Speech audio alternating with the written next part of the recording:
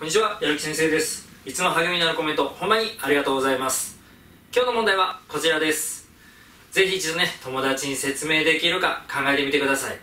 じゃあ、準備 OK でしょうかここから授業です。どうぞ。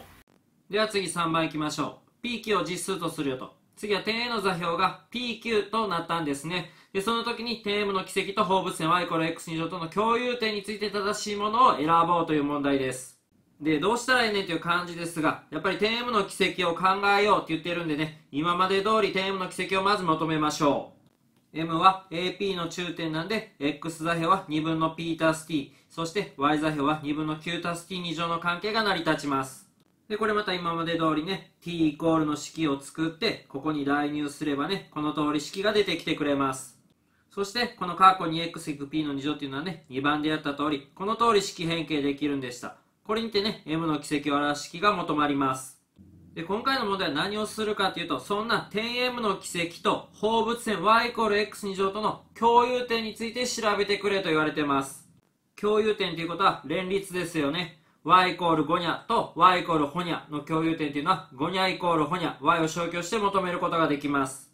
ですから今回ね、この式と y イコール x2 乗との共有点なんでね、この通り y を消去した式を作ります。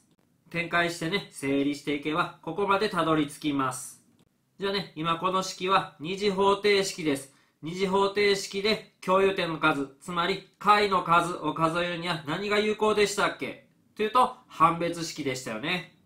今回はね、この x の係数が偶数になってるんで、偶数バージョンの判別式4分の d を使いますね。どうやって使うんやったかっていうと、この偶数の部分をね、半分にしたやつを使ってね、それの2乗引く a×c です。整理していけばね、4分の d は2分の p2 乗引く9とわかります。この形ならね、考えやすそうですね。実際ね、選択肢0、1、2はね、全部9イコール0の時です。今出たこの4分の d の式、9イコール0にしてみましょう。4分の d イコール2分の p2 乗となりますね。ここから分かることは、もしも p の値が0やったらね、4分の d イコール0となって、これは10回、共有点の数、解の数が1個となります。でもね、もうそれ以外の場合はこれ2乗されるんでね、判別式4分の d はね、大なり0、正となるんで、解の数、共有点の数は2個と分かります。じゃあね、選択肢0はどうでしょうか ?9 イコール0の時、共有点は常に2個であると。そんなことないですね。さっき見た通り、p が0の時は1個になります。だから0は違います。じゃあ次1番。9イコール0の時、共有点が1個になるのは p イコール0の時であると。今見た通りですね、p イコール0の時だけ共有点はね、判別式が0になるので1個になります。だからね、1番は正しいです。選択肢にはどうでしょうか ?9 イコール0の時、共有点は0個か1個か2個のいずれの場合もあるって言ってますが、0個はありえなかったですね。もう p2 乗、2乗される時点で負になることはありえないからです。選択肢にはおかしいです。じゃあ次、選択肢3を考えてみましょう。9小なり p2 乗の時、共有点は常に0個であると。これどう考えればいいでしょうか？っていうと、この判別式の分子がね、p2 乗引く9という形なんでね、この与えられた9小なり p2 乗からね、p2 乗引く9の正負が判断できますね。9を移行して左右ひっくり返して書けば p2 乗引く9大なり 0p2 乗引く9は正とわかります。つまり判別式が正とわかるんですね。だからね解が2個出てくるということがわかるんで共有点が0個であるというのはおかしいですね。選択肢3はおかしいです。じゃあ次選択肢4 9イコール p2 乗の時を考えましょう。この時分子の p2 乗引く9はどうなるでしょうか？